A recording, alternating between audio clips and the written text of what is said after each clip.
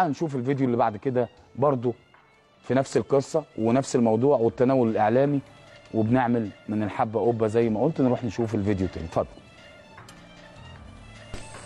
إيه يا كابتن؟ أخبارك إيه يا هشام؟ كله تمام؟ الحمد لله. طمني يا هشام عليك الإشاعة قالت إيه؟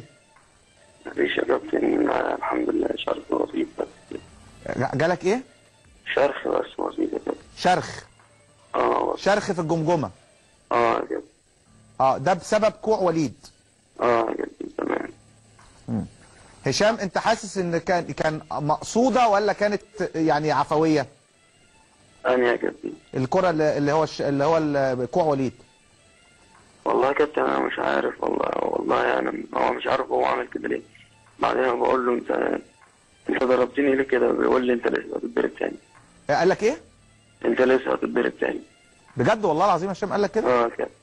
يعني آه، انت بتقول له انت ليه ضربتني كده؟ قال لك انت لسه آه. هتتضرب تاني؟ آه كده. آه. بقول له انت بتضربني بيقول لي أنا ما ضربتكش ولسه هتتضرب. طب وانت قدرت تكمل إزاي يا هشام بعد ال أنا مش عارف يا كابتن أنا لحد دلوقتي مش عارف أنا إيه اللي حصل؟ أنا مش فاكر اي حاجة في اي حاجة كده.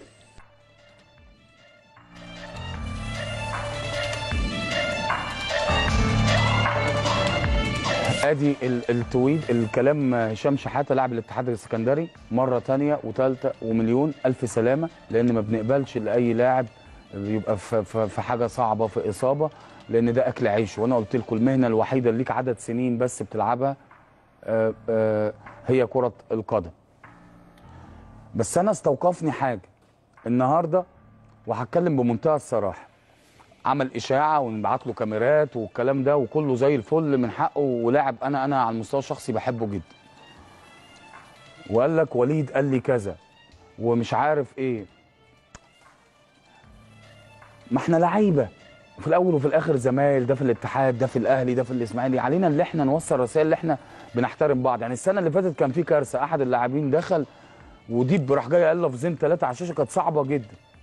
فاللي اللي اللي, اللي, اللي في الإعلام اللي مش قادر يعبر عن اللي جواه قول كل حاجة. لكن في جمل بتبقى صعبة جدا. ده وليد قال لي كذا كذا كذا كذا. طب ما لعيبه الأهلي بيتقال لهم كل حاجة. أو وليد كمان من الأساس الأهلي كسبان. هيقول كده ليه؟ أنا شفت أنا كنت في الملعب وشفت منظر أنا عجبني. الجهاز الفني للاتحاد كان نازل وزعلان في اللقطة بتاعت هشام شحاته وليد سليمان راح لهم وعمال بيقول ما أقصدش ما اقصد قعد أكتر من أربع مرات عاد أنا كنت في المباراة وشفت الواقع. فبالتالي الغضب اللي كان عند جهاز الاتحاد السكندري هدي. والناس لما شافت الراجل قال أنا ما أقصدش أنا بعتذر ما أقصدش أكتر من مرة. فبالتالي الناس هديت. وأنا بصراحة أنا ليا سؤالين بمنتهى الصراحة. عارفين يعني إيه كسر في الجمجمة؟ أنا مش بكذب حد ولا أقدر أكذب حد للأمانة لكن استفسار. إعلام بيروح وبيتكلم و... و...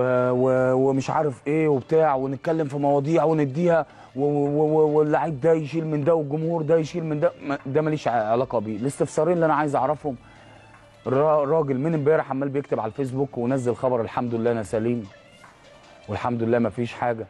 واشكر الحاج محمد مسلحي واشكر الدكتور عمرو الأشلم دكتور الاتحاد السكندري واشكر كل زمايلي اللي سألوا عليا وأنا الحمد لله بطمنكم ما فيش أي حاجة.